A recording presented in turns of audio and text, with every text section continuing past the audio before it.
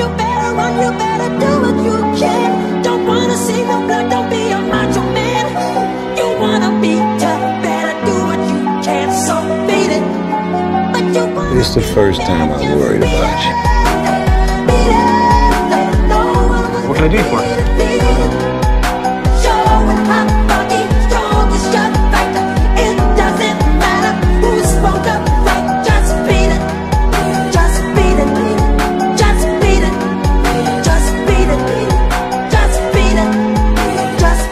I like that. Just.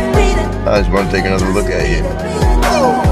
There are to get you better live while you can. Don't wanna be a boy, you wanna be a man. You wanna stay alive, better do what you can. Welcome to the 91st Academy Awards ceremony for 2019. It's only a few hours to decide the best of everything. Starting with the best picture, we have Roma, which is nominated for the best directing and cinematography. We also have The Favorite, which is nominated for depicting Elizabeth in England. You see the old streets, the old atmosphere, it takes you back there. Lots of viewers loved Black Panther, Moving on to Bohemian Rhapsody, which is the biggest surprise ever, especially the well done performance of Rami Malek. Lots of people commented on his role being played in that movie, and he would be nominated for the lead actor. These two movies can be considered to be the dark horses this year, and who knows, they might be winning the Oscars. The Green Book and The Clansman are being nominated for their historic portrayal. And the last but not the least, this is Vice.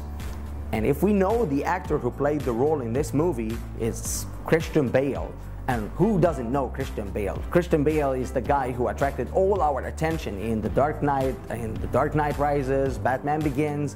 This was the Batman, as we know, and he is playing a very new role right here. This is the Vice President of George W. Bush, Dick Cheney.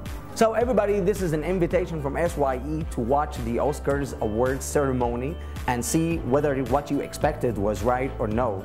So you can leave us a comment and tell us about your expectation for the best picture, the best actor, actress, and all these nominations.